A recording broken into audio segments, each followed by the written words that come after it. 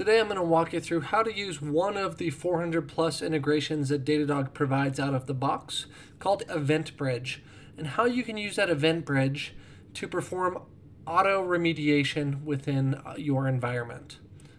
For anyone who may have used this in the past, Event Bridge was formerly called Amazon CloudWatch Events. So in order to set this up within Datadog, first off you will want to go ahead and add your AWS account to the AWS integration tile. Make sure you have the correct IAM profile set up. Secondly, you can go ahead and click on Event Bridge. What you're going to notice here is it does call out there is one additional IAM uh, rule called Events Create Event Bus. This is what allows Datadog to, uh, from within the Datadog UI, you can set up a an event bus and message um, bus, and then it'll actually push it over to AWS um, on your behalf so that you can just click in, find that event bus, add the partner integration, and then select what actions you want to perform. So now that you've got your AWS account set up, you've got the, uh, the IAM profile with the events create event bus, go ahead and select your AWS account.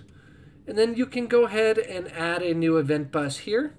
For this example, we're going to use one of our existing um, event buses called PCF Deploy. So once you go ahead and add that in here, what's going to happen is it's going to push it over to Amazon Web Services. You'll now see that on the Event Bridge tab.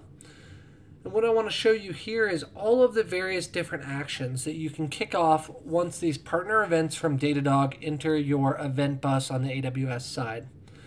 So this is where a lot of the power comes. Now you can have a Datadog monitor kick off an alert and perform lots of various different actions, whether it's um, spin up autoscale groups, tear down autoscale groups, kick off Lambda functions, um, launch or destroy EC2 instances, um, and lots of other tasks within AWS. And you can even launch remote shell scripts outside of AWS. So a lot of flexibility here to perform a lot of self-remediation. Now within Amazon itself, you will have your event bus. So we're going to use the PCF deploy. Underneath the, the bus, you can associate different rules. A rule, you can add up to two different targets. Think of targets as the outbound action. So here within this rule, I've got the name PCF deploy. You can see it's automatically set up to be an event pattern and a predefined pattern by service because Datadog is a ser service provider here. So um, then you can define your specific targets you want to hit. In this example, I want to hit a specific SNS topic that's going to send out an SMS message so I can get a text message letting me know this deployment has gone out. And secondarily, I also want to run this um, this uh, shell script that lives on an EC2 instance. So here it's hard coded. You can see the instance ID, but obviously you can use tag values, etc. Pull various different things out of the outbound event to actually use as your target.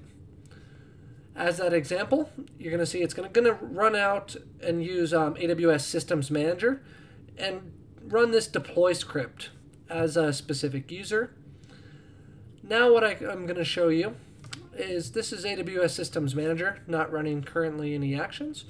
But if I come back over to the Datadog UI, now that I've set up that event bus, I can utilize that event bus in multiple ways. I can um, kick off actions based on uh, visualizations and dashboards that I see. So now if I wanted to kick off that deployment, I could do it directly from the UI using the at notation which will um, essentially bring up any of our outbound chat, um, ticketing, uh, collaboration tools. So a lot of flexibility there to kick off these remediation events on the visualizations themselves. But more likely, the, the real value is actually coming from alerts. So now from a single alert, I can come in and set up any of the criteria that I want to alert for. And then I can go ahead and write up my, my message here. And I'm just going to um, go ahead and use that exact same at notation to select that, that event bus that I have set up on the AWS uh, Event Bridge integration, which in this case is PCF deploy. So here you're going to see the integration name, Event Bridge. This is going to be your event bus name. Keep in mind you can set up lots and lots of different buses to perform various different actions.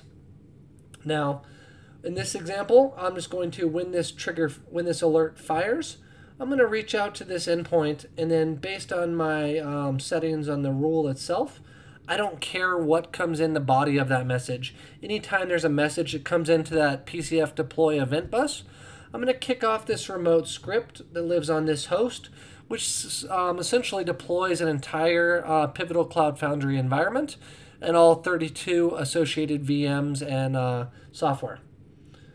So now I can hop back to the Datadog UI. Now that I've got my message written up, I can make sure kind of it looks how I want to look. Um, once again, for this example, we just more want to show you the functionality. Now I can scroll down and let's just go ahead and I can save it or I can just say test notifications.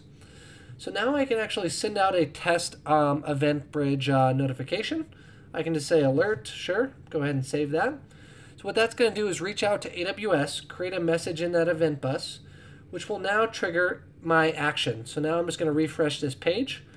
Now you can see I'm actually running this command. If I click in on AWS Systems Manager, it shows you the instance ID that it's running on.